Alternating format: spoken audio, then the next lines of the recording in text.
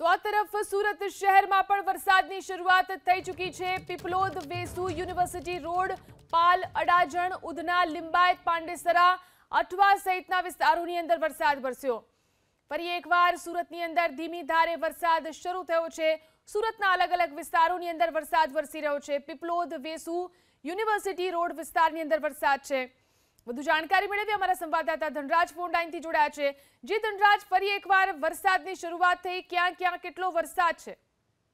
બિલકુલ સુરત શહેર સહિત દક્ષિણ ગુજરાતમાં જે પ્રમાણે વાદળછાયું વાતાવરણ છે, ત્યારે રાત્રિ દરમિયાન બફારાનો અનુભવ બાદ સવારની પોરમાં આ રીતે વરસાદની શરૂઆત થઈ છે, ત્યારે વાતાવરણમાં ઠંડક પસરી છે. ખાસ કરીને સુરતના પીપલોદ વિસ્તારમાં ભારે વરસાદ છે, વરસ્યો હતો, જેના કારણે ઠંડક પસરી હતી. એની સાથોસાથ university road Adajan VIP road Udhna Limbayat, Pandesar, Athwa સહિતના વિસ્તારમાં આ પ્રમાણે વરસાદી માહોલ જામ્યો છે. ત્યારે લોકો આ વરસાદી માહોલની વચ્ચે ભીંજાતા નજરે આવી રહ્યા છે.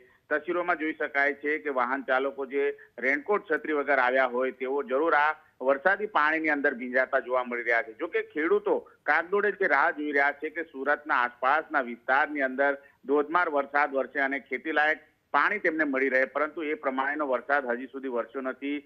મોટું વરસાદી ઝાપટું આવે છે અને ત્યારબાદ પલાયન થઈ જતું હોય છે. જોકે હજી પણ વાદળછાયું વાતાવરણ છે અને ખેડૂતો કાગડોળે રાહ જોઈ રહ્યા છે કે ખેતી લાયક વરસાદ વરસે. જી. જી, આભાર. તમામ જાણકારી આપવા માટે.